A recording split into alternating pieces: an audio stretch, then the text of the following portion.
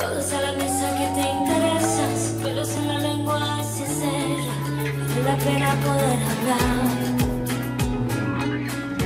A cada invitado los